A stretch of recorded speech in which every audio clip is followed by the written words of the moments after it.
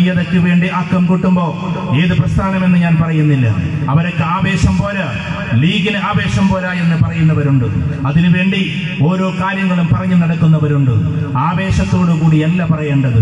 പറയേണ്ടത് മുഴുവനും പക്വതയോടുകൂടിയായിരിക്കണം പറയേണ്ടത് പറയേണ്ടത്. പീഡിക തിണ്ണയിലിരുന്ന് ആവേശത്തോടു കൂടി ഗർജിച്ചതുകൊണ്ട് ഒരു നിയമവും നിർമ്മിക്കാൻ കഴിയില്ല. പാർലമെന്റിൽ പോയിട്ട് തർക്കം നടത്തിയിട്ട് നിയമനിർമ്മാണം നടത്തുമ്പോഴേ പക്വതയോട് കൂടിയിട്ട് നിയമനിർമ്മാണം ഉണ്ടാവുകയുള്ളൂ. അതുകൊണ്ടാണ് പാർലമെന്റിലേക്ക് നിയമസഭയിലേക്ക് രാജ്യസഭയിലേക്ക് ലോക്സഭയിലേക്ക് ആളുകളെ എത്തിക്കണമെന്ന് പറയുന്നത്. അങ്ങനെ എത്തിച്ചവരുടെ ദൗത്യമാണ് ഈ കമ്മ്യൂണിറ്റിക്ക് വേണ്ടി മൊത്തം മാനവരാശിക്ക് വേണ്ടി പ്രവർത്തിക്കുക എന്നത്.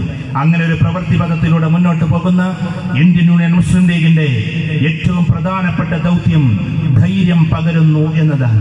നിങ്ങൾ അറിയണം ഇരുപത്തിയൊമ്പത് സംസ്ഥാനങ്ങളുണ്ട് ഇന്ത്യയിൽ. ഇരുപത്തിയൊമ്പത് സംസ്ഥാനത്തുമില്ലാത്ത ഒരു ധൈര്യം എന്തേ ഈ കേരളക്കരയിൽ? അതിന് കേരളക്കര വിട്ടൊന്ന് സഞ്ചരിക്കണം എപ്പോഴും മനസ്സിലാക്കും എല്ലാ സംസ്ഥാനങ്ങളിലും ഒരു ഭീതി നടക്കുന്നു. ആ ഭീതി ഇങ്ങനെ വന്ന് വന്ന് കേരളത്തിലേക്ക് എത്തുമ്പോൾ അത് കാണുന്നില്ല. കേരളത്തിൽ അത് കുറവാണ്.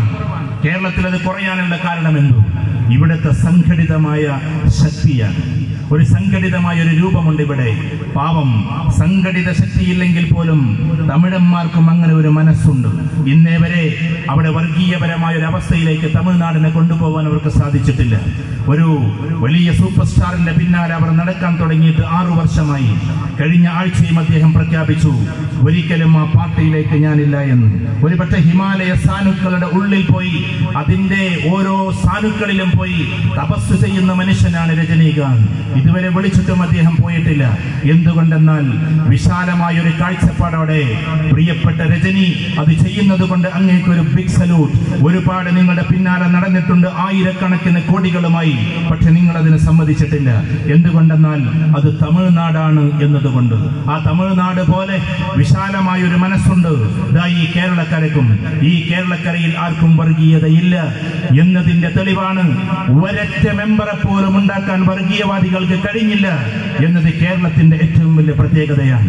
അതുകൊണ്ട് നമ്മൾ മനസ്സിലാക്കേണ്ടത് ഈ ഒരു സിസ്റ്റത്തിനെ ഭേദിക്കാൻ പലരും ശ്രമിച്ചുകൊണ്ടിരിക്കുന്നു. ഏത് സിസ്റ്റം? സൗഹാർദ്ദത്തിന്റെ ഏറ്റവും വലിയ ദയയുടെ കാരുണ്യത്തിന്റെ നമ്മൾ ഇന്നിവിടെ നൽകുന്ന ഭവനം അത് ഇന്ന് ഷാക്കിറിനാണെങ്കിൽ നാളെ കൊടുക്കാൻ പോകുന്നത് ചിലപ്പോൾ ജാനകി അമ്മക്കായിരിക്കാം പിന്നെ അത് ജോസഫ് ഏട്ടനായിരിക്കാം.